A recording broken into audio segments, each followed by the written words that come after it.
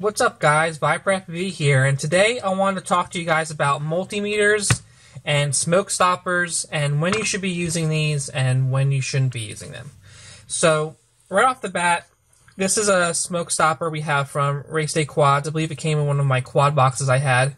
I do use it, and I'll show you how I use this in a second.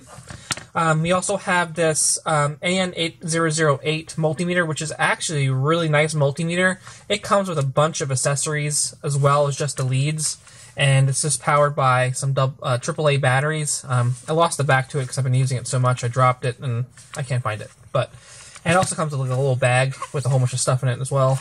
Um, yeah, it comes with like a whole bunch of little adapters and comes with some extra wiring so you can connect these adapters up. I have those on my shelf over there.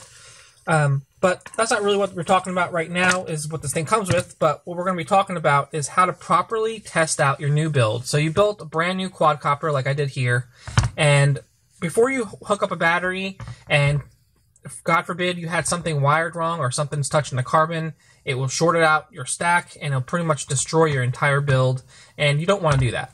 So what I always go ahead and do when I finish a build, or even when I'm in the progress of doing a build, um, on a multimeter, if you haven't ever used one before, um, this little sign right here, that is going to be for your continuity right there. You see the little um, sound there? And on this one, you can either use it in um, non-sound mode or sound mode. So I want to be switching this over to the sound.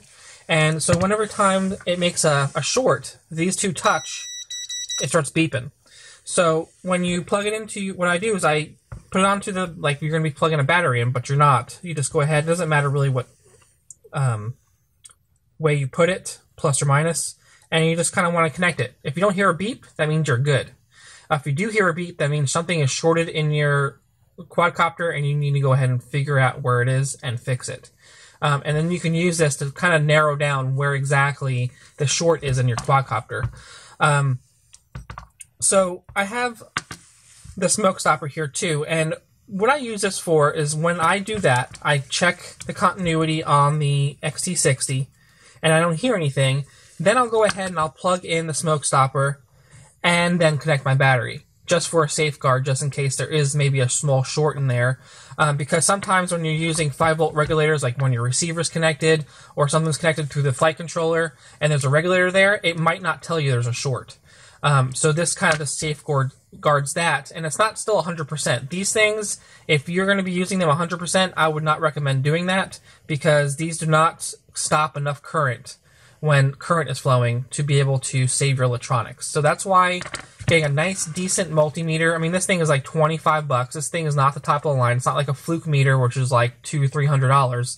It's twenty four dollars. This is at Banggood. I believe I got this one from, and um, like I said, it comes with a bunch of accessories.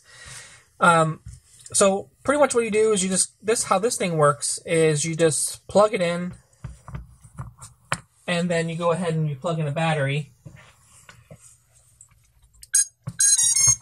and it'll light up. And if there's a short, it will actually you'll you'll notice because it won't be light lit up, and hopefully it doesn't make any magic smoke coming out of your quadcopter. So that is that. And then using a multimeter is pretty simple as well. Like this one, it has auto range mode. So, like, say for instance, you don't know what voltage you're going to be running at because a lot of them will have like the var- the variable voltage where you need to have it set so you get the accurate voltage.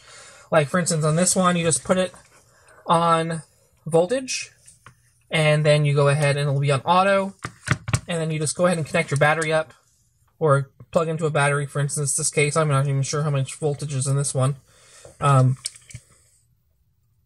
and then it automatically tells you that it's 11.35 volts is what I'm showing on this one. So using a multimeter is really simple. I mean, don't be scared of it. Um, I see a lot of guys getting into this hobby and they don't have a multimeter. And that's kind of scary because these things are really helpful when trying to figure out problems with your quadcopter, um, shorts, and especially since you're soldering a lot of things on, a glob of solder can get on anything, and it could be a big deal. Um, so that's pretty much all I wanted to really talk about today is just multimeters and smoke stoppers when you should be using them and when you shouldn't be. Um, you probably don't even need get a smoke stopper if you're going to be using a multimeter exclusively, but if you're kind of worried about maybe something shorting and this thing is not beeping, then you can go ahead and just get one. I think these things are like a few bucks from Race Day Quads. I'll leave a link to this down in the description below, along with this multimeter. This multimeter, I've had this thing for over a year now, and I use this thing exclusively for diagnosing problems and also, like I said, trying to figure out if I did do a short on a quadcopter um, before connecting a battery and destroying your entire $300, $200 build or whatever you're building. So I appreciate you guys watching, and I'll see you guys in another video. Peace.